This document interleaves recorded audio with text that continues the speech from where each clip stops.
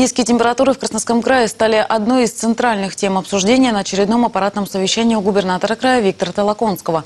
Глава региона отметил, что в сильные морозы службы, отвечающие за жизнеобеспечение, должны работать особенно ответственно. По информации краевого МВД, сотрудники ДПС уже сейчас оказывают помощь всем автомобилистам, попавшим в трудную ситуацию, находясь на трассе. В ночное время проводится проверка предприятий, поставщиков тепла и их персонала на предмет соблюдения трудовой дисциплины и недопущения аварий. Губернатор подчеркнул, самое пристальное внимание сейчас нужно уделить контролю над качеством теплообеспечения жилых домов и объектов социальной сферы. Все ТЭС должны работать в полную силу.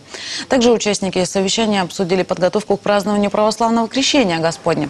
По предварительным оценкам, в мероприятиях примут участие 87 тысяч жителей региона. Под контролем сотрудников полиции в ночь с 18 на 19 января окажутся 112 храмов в 59 территориях края. Позже губернатор встретился с известным благотворителем Хазретом Савменом, с которым обсудил перспективы развития региона, в частности, строительство нового моста и дороги в Северо-Енисейском районе.